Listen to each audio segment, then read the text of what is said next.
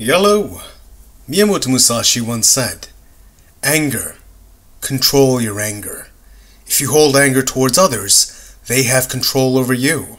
Your opponent can dominate and defeat you if you allow him to get you irritated. That's what he said about anger.